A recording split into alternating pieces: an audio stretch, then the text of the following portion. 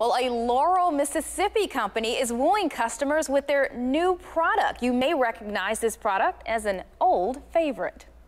One company is turning a southern delicacy into a nationwide mouth puckering treat by giving pickles a dramatic makeover.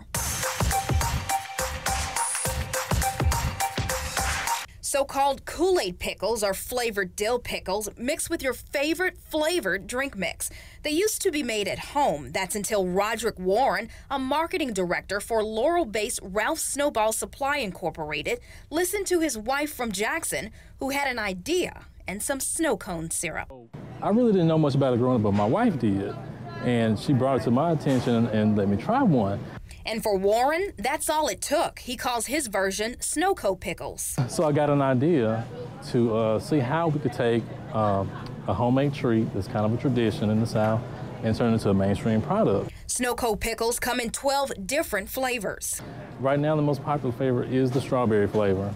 Uh, coming up fast on strawberry is Bahama Mama flavor, which is new.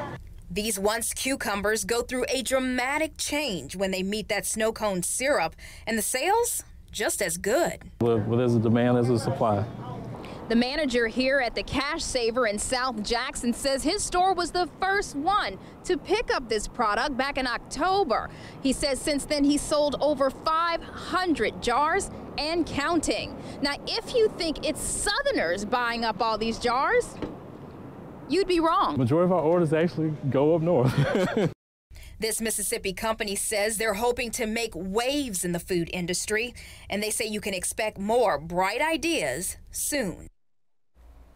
Now, Warren says they went through several different recipes before they came up with the perfect blend. For more information, you can head over to our website at WAPT.com.